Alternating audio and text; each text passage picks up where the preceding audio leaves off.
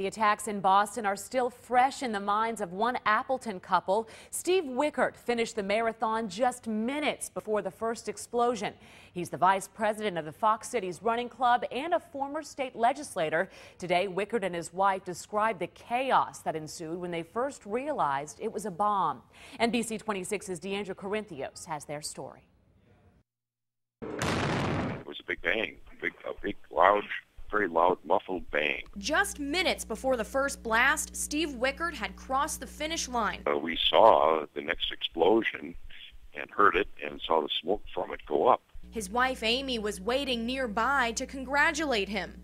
Elbow to elbow people, and we heard these loud booms, and we kind of, you know, it got just Everybody stopped talking for just a minute, got real quiet. Steve says at first, no one realized what happened, but when police began evacuating the area, he knew he was in danger. I was hoping what I was thinking was not happening. He says he was caught in a mass of thousands of people, and all he wanted to do was find his wife. He realized this is something did seriously, a tragedy did happen. He just, you know, it's, it's, it's emotional. It just, it just hits you emotional, like, oh man you know, kind of like a 9/11 thing, and I just, I just, uh, I think I shed a tear or two just believing that. And Amy was in panic. She remembers finding her husband in the crowd, and she's still emotional thinking about the terrifying experience. It's just so sad and so tragic.